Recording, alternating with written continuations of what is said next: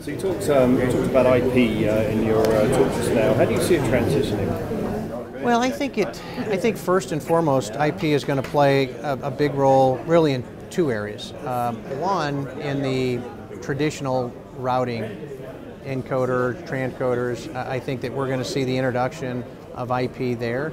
I think that you're already seeing IP as an introductory technology that's going to impact a lot of the software technology. Um, would you look at technologies that are going to be adopted as it relates to what gets put up into the cloud, what gets virtualized? I think those are ultimately all going to go to an IP-based platform.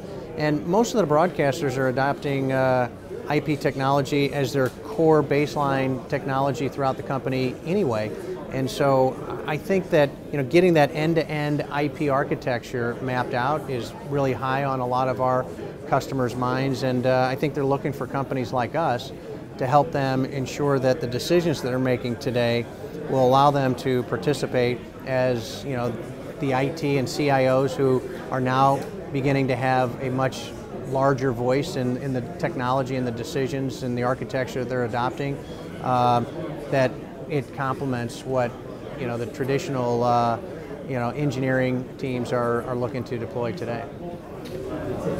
And 4K uh, Ultra HD. Um, you've been asked a bit about it. You made it quite clear it's too soon, but when? You know, I, I think you know it's it's really about it's it's really about spending patterns because if you look at today's broadcasting, um, you know, you look at that that that group of customers today who have spent you know a lot of money supporting you know high definition architecture today. I, I think that their view, and I and I'm sort of of that mindset that high definition TV is frankly a huge advancement from where we were just two or three years ago, and most of the consumers, um, you know, cannot afford to buy a 4K TV.